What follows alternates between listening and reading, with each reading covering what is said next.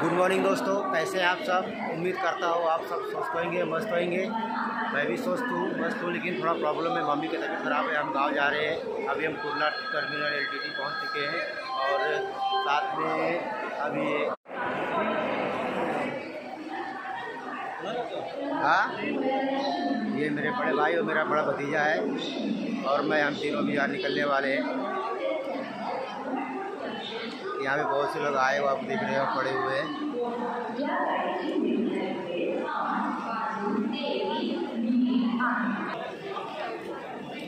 तो दोस्तों, हम लोग यहाँ पे भी स्टेशन पहुँच चुके हैं। आगे हम लोग आपको दिखा रहे हैं। आगे ब्रिज के ऊपर जा रहे हैं अभी। ट्रेन पकड़ने वाले हैं। प्लेटफॉर्म नंबर तीन पे ट्रेन आएगी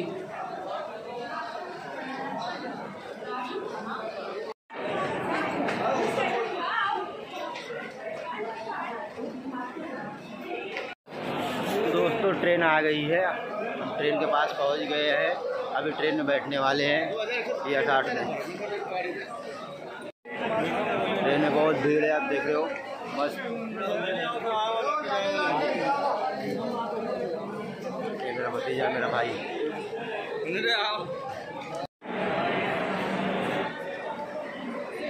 कुछ लोग ये गाड़ी लेट जा रही है। अभी हम लोग का ट्रेन ही है। आपको हम दिखा रहे हैं। अभी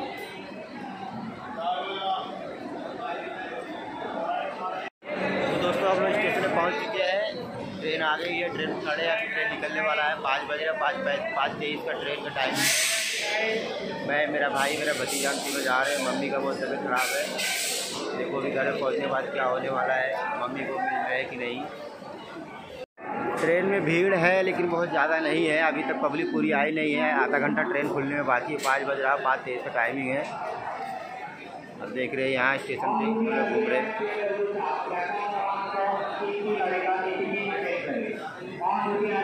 दो ये मेरा भतीजा बैठा है इधर ये मेरा भाई बैठे हैं ये बोगी का कंडीशन देखो, भीड़ अभी भी है तो बैठे शांत से। इधर भी भीड़ है।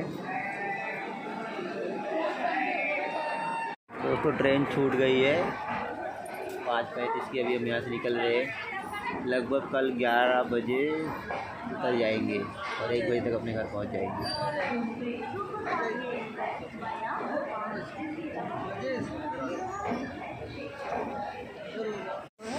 ये मेरा भतीजा बैठा हुआ, अभी हम लोग निकल रहे हैं।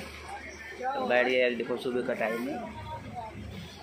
का था सब सोए पड़े, देखो।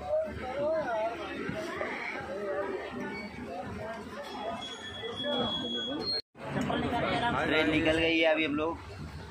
कल सुबह पहुँचेंगे। थोड़ा सो रहे हैं, सुबह का टाइम है। पाँच पाँच तेईस का हो गया है।